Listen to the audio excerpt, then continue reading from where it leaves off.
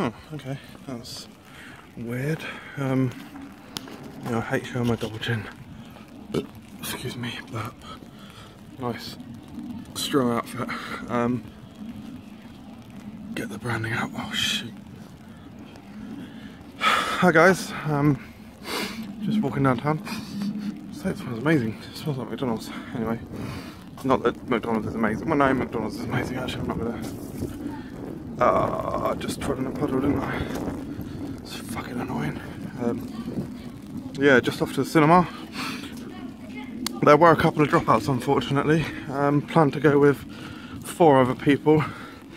Couple of dropouts means that I'm now going on my own, which is fine. I don't actually mind going on my own.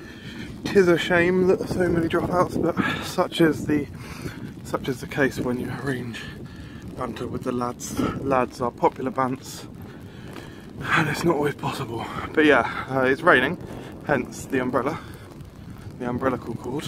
Um, but yeah, I'm going to Odeon to see. They do this thing called Screen Unseen, which is where um, it's five pounds a ticket. So where I live, that's like an absolute bargain because normal tickets are about 11 quid, 10, 11 quid.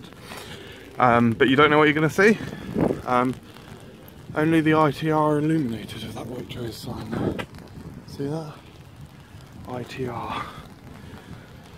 Rain on the uh, canal looking pretty beautiful again.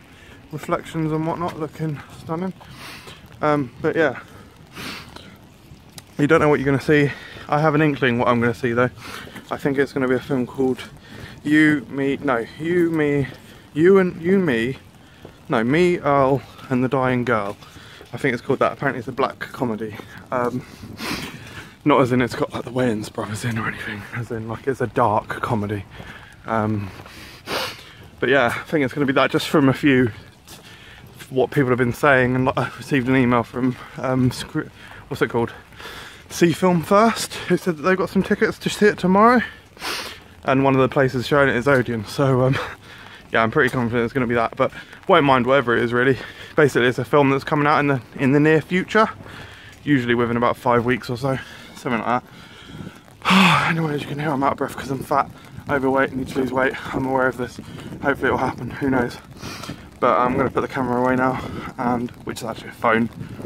Um, but yeah keep it easy. Keep it real. Um, yeah enjoy life.